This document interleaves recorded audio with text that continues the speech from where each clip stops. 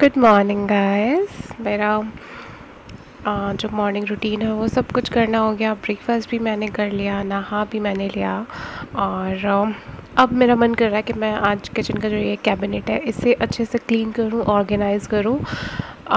काफ़ी मैसी हो गया है जो भी कुछ सामान था वो सब इधर उधर हो गया है। और ये मैं क्यों करने जा रही हूँ, क्यों मेरे दिमाग में आया, क्योंकि मैंने ना अभी लास्ट जो ग्रॉसरी ऑर्डर करी थी, उसमें मैंने एक ही कैचअप मंगाया था और ये जो कैबिनेट है, इसमें इस तरह का सब सामान रहता है। लेकिन ये इतना कंजस्टेड लग रहा था ना कि इसे रखने के लिए मुझे इसमें जगह ही नहीं दिखी तो मैंने सोचा चलो इससे मैं आज सबसे पहले अरेंज करती हूँ।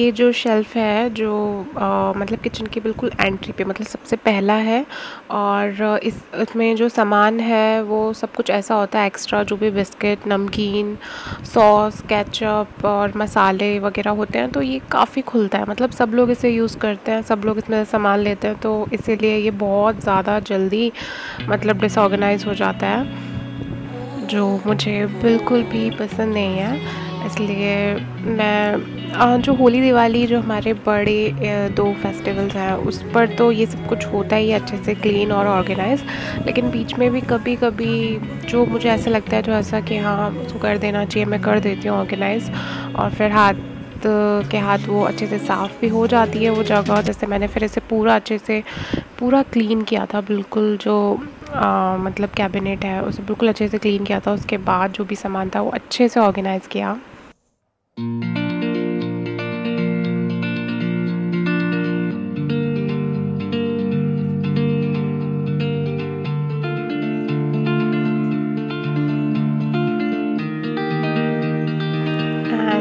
you can see why I love organization the most because जहाँ जिस कैबिनेट में बिल्कुल भी जगह नहीं थी इतना कंजस्टेड लग रहा था कि एक सॉस की बोतल रखने के लिए मुझे जगह नहीं मिल रही थी। वो अब इतना क्लीन और इतना ऑर्गेनाइज है कि वहाँ पर अब काफ़ी स्पेस है बहुत सारा और भी सामान आ सकता है।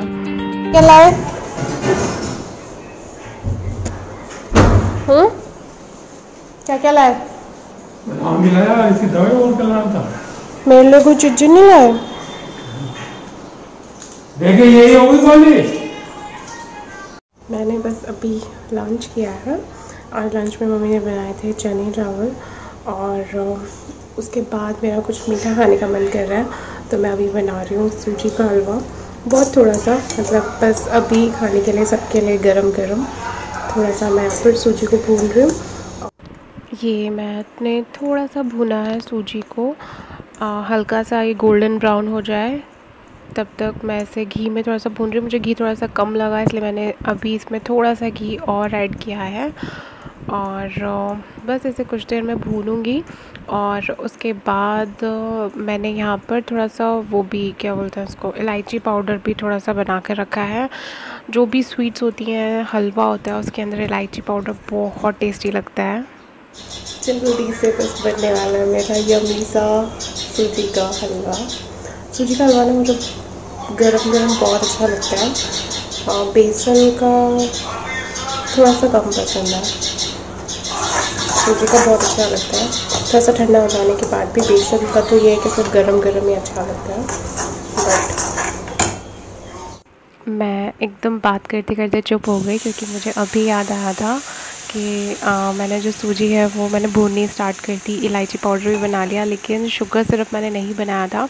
तो मैंने पहले गैस ऑफ़ करी और फिर पहले आ, मतलब सूजी भूनना बंद किया और शुगर सिरप बनाया।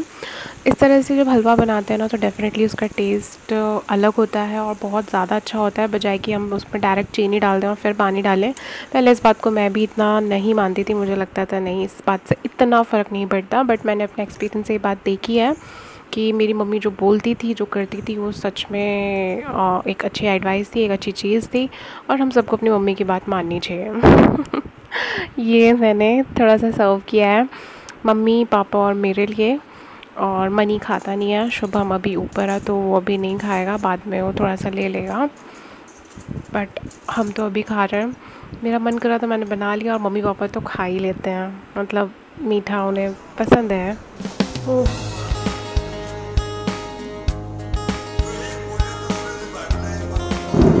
तू लेगा मनी? हलवा।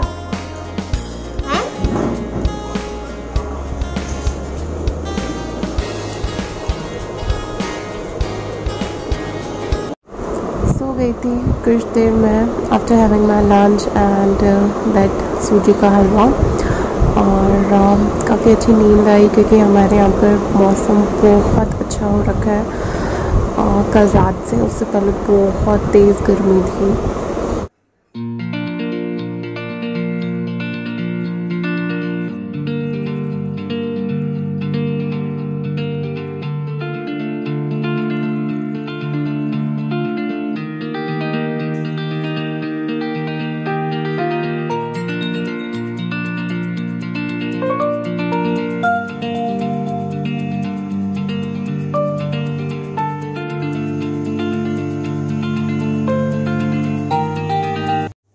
मैं यहाँ प्रिपेयर करने जा रही हूँ। बहुत ही टेस्टी सी ग्रीन चटनी मैंने लिया है थोड़ा सा धनिया थोड़ा सा पुदीना और एक हरी मिर्च मैं इसमें डाल रही हूँ। कट कर दिया है मैंने उसे और कुछ मैं इसमें डालूँगी गार्लिक क्लोव्स जो रेस्टोरेंट में हमें ग्रीन चटनी मिलती है ना, वो इसी तरीके से बनती है। यही उसकी रेसिपी है, बस उसमें जो लहसन है, वो नहीं डालते।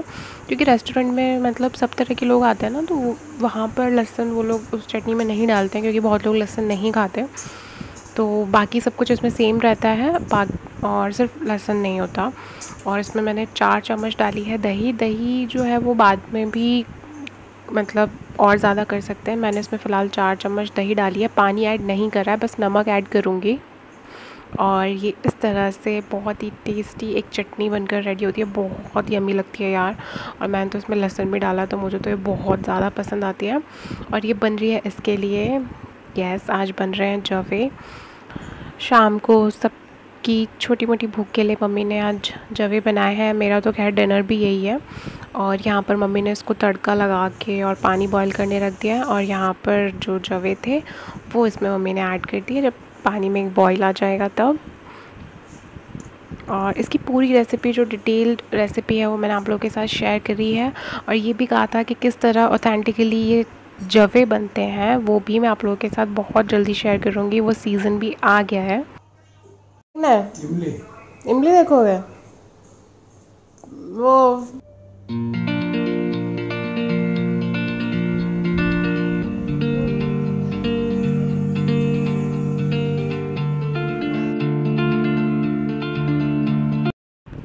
मैंने तो डिनर में वही जो जवे थे वो खाए और उसके बाद अब मैं वॉक करने आई हूँ ऊपर। आज मौसम काफ़ी ठीक है मतलब बहुत गर्मी होती है तो मैं ऊपर आना प्रेफर करती नहीं मैं नीचे थोड़ा सा वॉक कर लेती हूँ।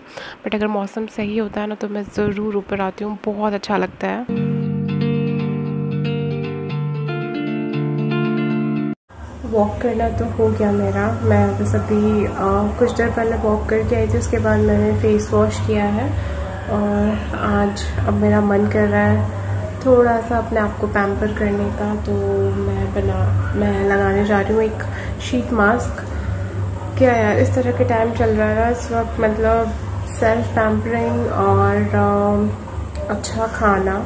इसके अलावा और किसी चीज़ से हमें कुछ मतलब ऐसी कुछ चीज़ें करके अपना खुश रखने की कोशिश करनी पड़ रही है। कोई कोई दिन सच में ऐसा होता है कि बिल्कुल मतलब मतलब घर पे बहुत ज़्यादा बोरिंग लगता है। बट ठीक है कुछ दिन और सही।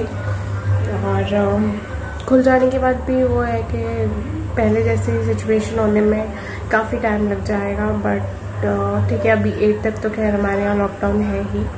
और उसके बाद देखते हैं क्या कुछ होता है। सो so, अभी मैं लगाने जा रही ये एक sheet mask papaya fairness facial mask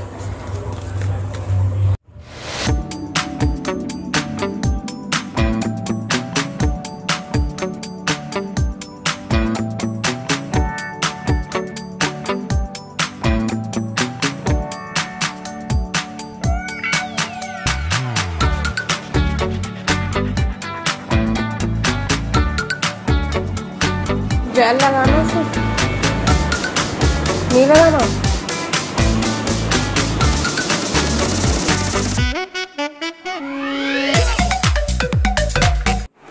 so guys मेरा मास्क लगाना हो गया और काफ़ी फ्रेश फील हो रहा है, काफ़ी अच्छा फील हो रहा है मतलब फेस पर काफ़ी मतलब अभी तक ना थोड़ा सा सेंसेशन मुझे फील हो रहा है तो बहुत अच्छा लग रहा है। और अब बस मैं कुछ देर टीवी देखूँगी इसके बाद मैं सो जाऊँगी और अब मैं इस ब्लॉग को आज यहीं ख़त्म कर रही हूँ। आप लोगों से बोलूँगी फिर जल्दी एक नए ब्लॉग में, तब तक के लिए bye love you all take care